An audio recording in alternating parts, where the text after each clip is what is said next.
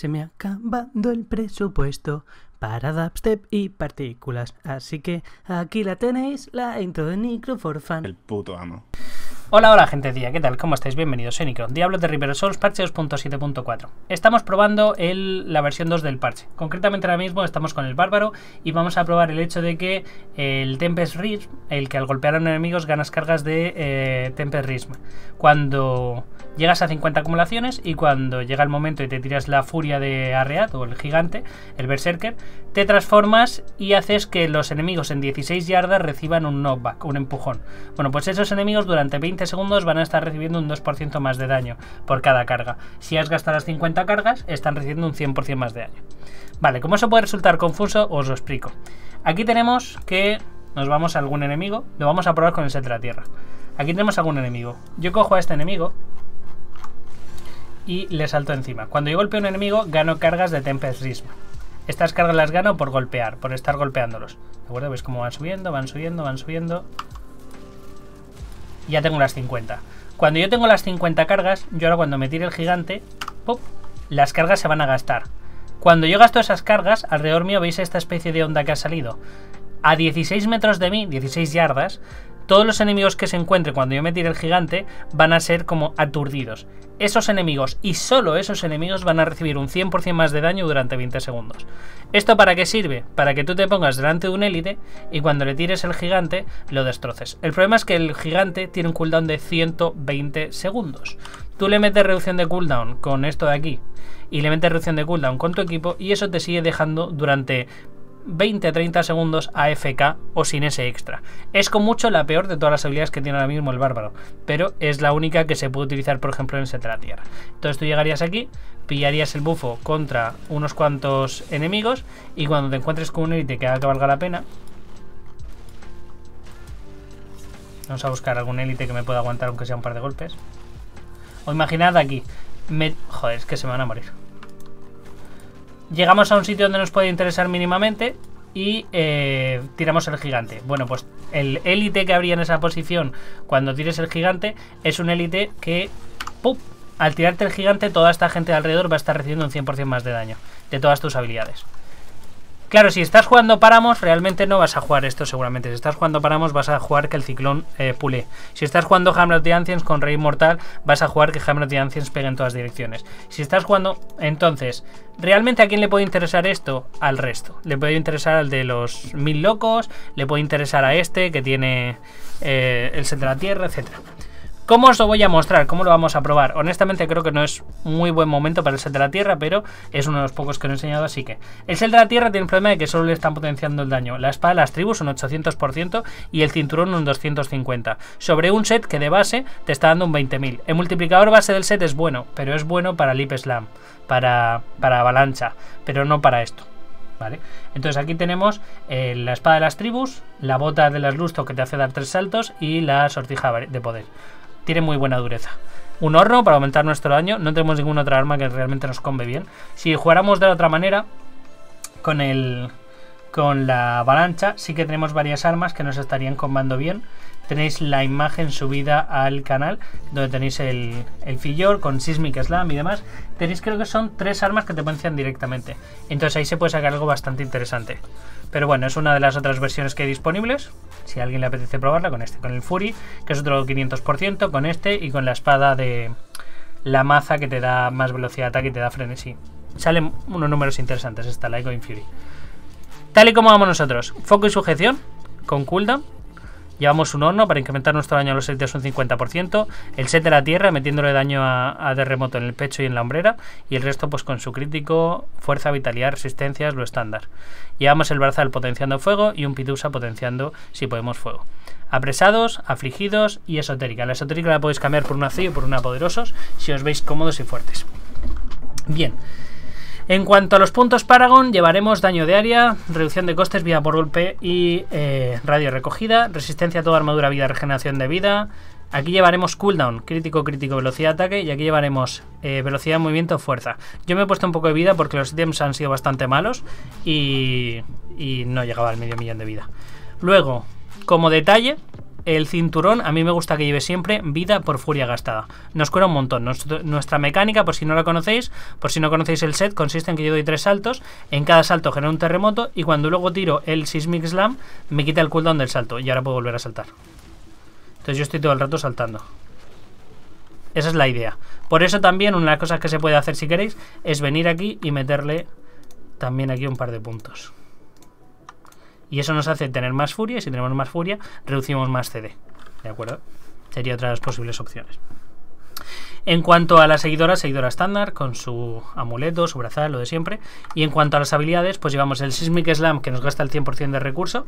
También lo podéis cambiar por Lancien Spear, que nos gasta el 100% de recurso. Podéis usar la que más rabias de las dos. Tenemos por aquí el IP. De hecho, no, no podéis, porque ahora el cinturón se potencia con Sismic. Así que Sismic. Llevamos por aquí el salto, eh, podéis usar la runa que queráis, yo llevo que aturda cuando cae. Llevamos el terremoto, tenéis que seleccionar la runa que queréis que tire. El grito podéis utilizar el que queráis. Aquí yo llevo el caso de, aumentar mi daño. Podéis llevar vida por golpe, podéis llevar un poquito más de probabilidad de crítico. El grito, lo mismo, el segundo grito, podéis llevar que os dé dodge o que os dé un poquito más de resistencia elemental. Y por último, el gigante, que si lleváis mi brazal, pues lleváis todas las runas. Más reducción de CD para el gigante, más daño a enemigos con poca vida, más fuerza al matar y que generes furia cada vez que tiras avalancha o earthquake. Vamos para adentro. Vamos a hacer, como os digo que los números no son muy buenos, vamos a meternos un 107 o así, algo bajito. Lo suyo sería que yo no auto lanzara el Berserker, ¿vale? Lo suyo sería que yo viniera por aquí y que ahora que tengo las cargas, lo tirase y entonces tirase todo. ¿Por qué? Porque ahora mismo, al haber cargado primero las cargas y tirarlo yo manualmente, estos tres bichos durante 20 segundos van a recibir un 100% más de daño. Pero la realidad es que moverse sin el Berserker es jodido. Meterse en un sitio sin el Berserker es jodido. Entonces la mecánica va a ser complicada. ¿Vale? Y esta es la mecánica. Tú sigues haciendo tus saltos, tus historias, solo que ellos están recibiendo un 100% más de daño de lo normal. ¿Qué tal los números? Bastante normalitos. Es una, es una build lenta. Es una build sólida, pero lenta.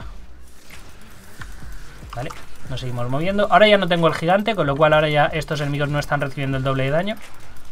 Me lo guardo y cuando llegue al siguiente punto donde me interese lanzar el gigante, eh, lo lanzo.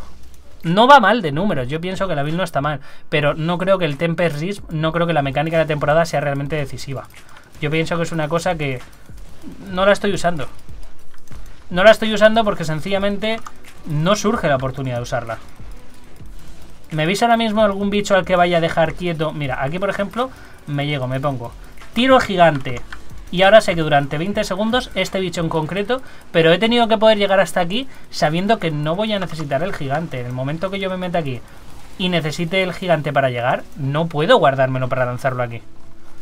Bueno, si sabéis guardároslo, ahora por ejemplo a este ya no tengo manera de hasta dentro de 60 segundos meterle el temper Tengo las cargas, pero no tengo forma de bajarme los CDs.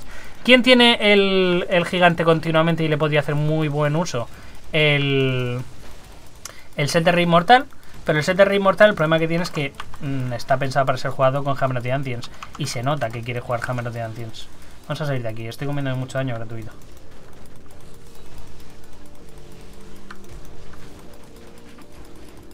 ¿Veis? Ahora, por ejemplo, no puedo hacer absolutamente nada. Tengo que quedarme aquí fuera esperando a que ellos decidan venir. Vale, ahí tenemos el IT. Le entramos. Le tiramos el gigante. Y ahora, gracias a que tengo el gigante, aguanto más. Yo ahí lo he pasado mal porque no tenía el gigante. Tener que esperar al gigante, que tiene un cooldown de 60 o 70 segundos, para poder tirarlo, creo que es una putada. Me gusta la idea del Tempest Rear si me das la oportunidad de tirarlo con cierto ritmo, con cierta frecuencia. Pero si me lo tiras así, no. Porque yo ahora acabo de llegar un nuevo enemigo y estamos en las mismas. Estamos en un enemigo al que no le puedo tirar de ninguna manera la habilidad de temporada porque no tengo el puto CD.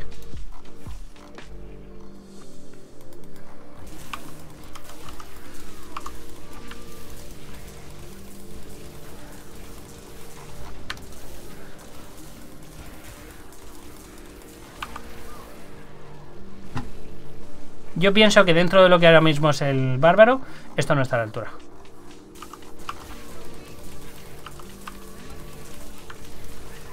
Esto no está a la altura. Sin más, no le voy a dar tampoco mucho más tiempo. Creo que Temper Risk como tal puede ser útil, por ejemplo, en el Páramos. Creo que Páramos lo podría aprovechar un poquito más, porque Páramos dentro de lo malo eh, con el Zodíaco está bajándose los CDs continuamente. No lo jugaría con el set de la Tierra. Si lo jugáis con algo, que sea con algo que pueda bajarle los CDs continuamente. Tampoco sé si paramos en la respuesta, pero tiene pinta de que...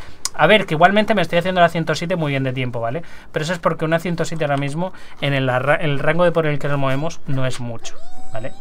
Pero yo no... Si utilizáis Temper Rim, que sea precisamente porque no tenéis nada mejor y bueno, vale. No llega tarde para ver al DH, lo veremos ahora después. Dicho eso, gente, no le voy a dar mucho más tiempo a esto. Temper Rims es con mucho la peor de todas las habilidades que tiene el bárbaro ahora mismo. El cambio que le han hecho es pasar de incrementar el daño un 25% a un 100%.